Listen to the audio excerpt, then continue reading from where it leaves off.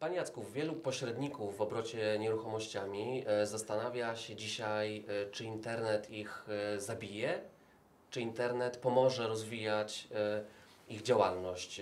Chciałbym Pana o to zapytać, jak to wygląda z punktu widzenia marketingu, z punktu widzenia budowania swojej marki. Czy oczywiście zabije ich, jeśli nie będą z niego korzystać. To, to, to myślę jest to już potwierdzone. W zasadzie rozwój internetu ostatnie 15 lat to jest tak potężna rewolucja e, w obszarze marketingowym szczególnie, że e, no, zdecydowanie należy go wykorzystywać do tego, żeby podwyższać swoją konkurencyjność, jeśli chodzi o pośrednictwo w zakresie nieruchomości. Ilość narzędzi i możliwości, którą dzisiaj się posiada, jeśli chodzi o poszukiwanie klientów, jeśli chodzi o zdobywanie klientów, jeśli chodzi o pozyskiwanie kontaktów, jest naprawdę bardzo duża.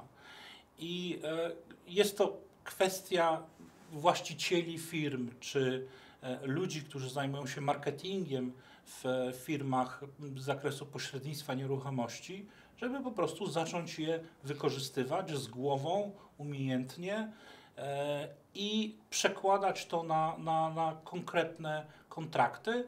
Bardzo często są to narzędzia albo niskokosztowe, albo wręcz bezpłatne. I po prostu warto z tego korzystać. Ja bym chciał już zapytać konkretnie, bo internet jest pojęciem bardzo szerokim, ale chciałbym dokonać takiego rozgraniczenia. To znaczy, w jaki sposób wykorzystywać internet, żeby budować e, wiarygodność i wizerunek, a w jaki sposób można wykorzystywać internet, żeby przełożyć go na e, konkretną sprzedaż, bo gdzieś zawsze na koniec dnia mm, liczy się Excel i, i zarobione pieniądze. Jasne. W przypadku mm, oczywiście każdej firmy zawsze tym punktem wyjścia jest strona www, czyli to w jaki sposób ona e, wygląda, e, jakie treści się kryją za tą stroną. Dzisiaj e, istotne jest, istotny jest charakter tych treści, który nie tylko ma przyciągać uwagę, nie tylko strona www ma zwracać uwagę swoją stylistyką, ale również treści muszą być mm, przygotowywane pod kątem mechanizmów wyszukiwawczych, czyli, czyli mówimy o reklamach w wyszukiwarkach internetowych, czy budowaniu treści tak zwanych organicznych, które są oparte na przykład o słowa kluczowe, charakterystyczne dla, e, dla tej dziedziny i to jak gdyby powoduje, że nasza strona internetowa jest organicznie lepiej postrzegana. Natomiast druga kwestia to jest mm, pewna aktywizacja różnych narzędzi internetowych, które spowodują, że pozyskamy potencjalnych klientów, czyli na przykład, jak to się mówi w żargonie internetowym, generowanie leadów, tak?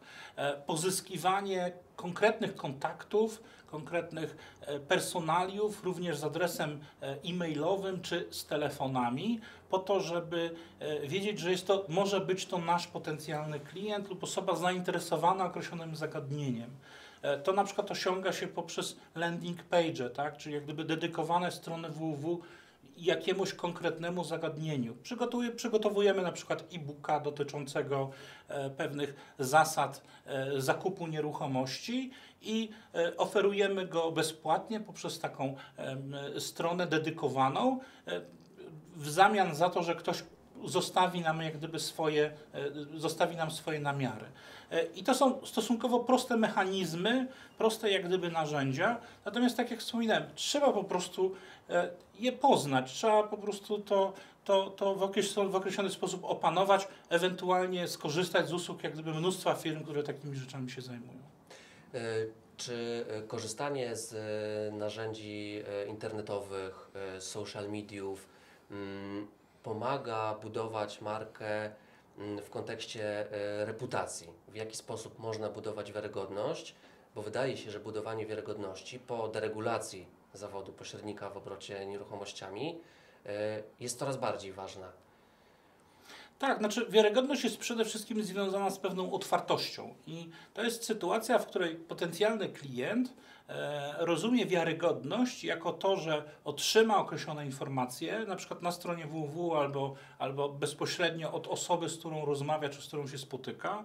E, I te informacje są rzeczywiście przygotowane w sposób rzetelny, są użyteczne dla niego, ale również dla klienta, wiarygodność jest, jest postrzegana jako na przykład opinię, którą, e, którą znajdzie w sieci na temat danej firmy, czy opinię, którą przekaże mu jakaś osoba jak w wymiarze ustnym, czyli coś, co jest określane mianem tak zwanej reklamy szeptanej. Tak? Dzisiaj tych elementów związanych z wiarygodnością jest sporo, natomiast ważne jest to, żeby pamiętać, że ze względu na specyfikę transakcji, jeśli chodzi o nieruchomości, ta wiarygodność pośrednika jest bardzo istotna, dlatego że e, no, wielkość tej transakcji jest stosunkowo wysoka. I teraz e, pośrednik może wykorzystać narzędzia e, po to, żeby pokazać, że rzeczywiście jest rzetelny. Jego funkcjonowanie również w określonym stowarzyszeniu czy w określonej organizacji zawodowej jest, jest też podkreśleniem jak gdyby jego wiarygodności. I to wszystko jest warte wyeksponowania. Dzisiaj tak na dobrą sprawę myślę, że wielu e, właścicieli tych firm ma za sobą określony bagaż doświadczeń, e, ma określone narzędzia i tak na dobrą sprawę muszą tylko dokonać e, następnego kroku w postaci pokazania tego, uwypukle, uwypuklenia tego w określony sposób, po to, żeby klient rzeczywiście wiedział, że ma do czynienia z dobrym partnerem. Panie Jacku, mówimy klient, ale to jest bardzo niejednorodna dzisiaj grupa. Mówimy o klientach pokolenia X, klientach pokolenia Y, klientach pokolenia Z. Czy może Pan powiedzieć, czym, tak w skrócie, bo to jest bardzo długie zagadnienie, e, czym te pokolenia się różnią i w jaki sposób najlepiej do nich e, dzisiaj docierać? Znaczy, jeśli mówimy już o tym pokoleniu Y i pokoleniu Z, ich główną cechą, taką podstawową, charakterystyczną jest po prostu sieciowość. Jest sytuacja, w której e, te grupy chcą przede wszystkim znaleźć jak najwięcej informacji w sieci. W związku z tym, że narzędzia internetowe są po prostu bardzo tanie albo bezpłatne, trzeba po prostu wykorzystywać ich możliwości. Nie zmienia to oczywiście postaci rzeczy, że klienci z tak zwanej generacji X, oprócz tego, że e, znajdą określone informacje w sieci, będą jednak potrzebowali tego kontaktu osobistego.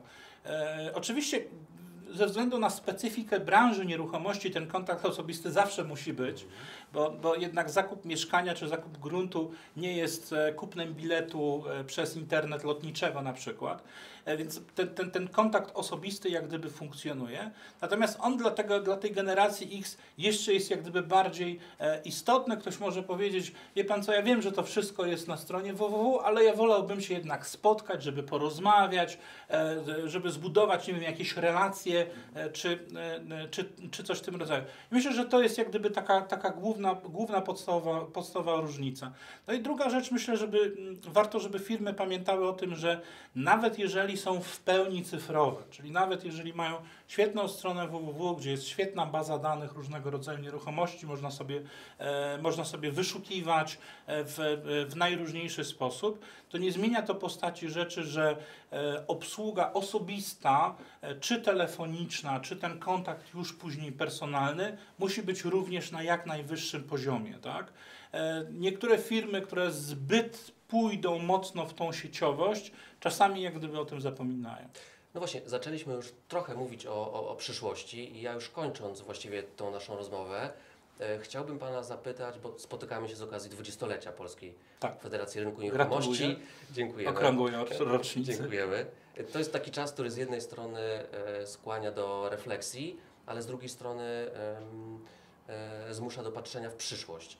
I e, gdyby Pan się miał, e, mógł pokusić o taką prognozę, jakie w najbliższych 20 latach czekają nas e, największe wyzwania, jeśli chodzi o, mm, o bycie marketerem, o pozyskiwanie klientów, o dbanie o reputację.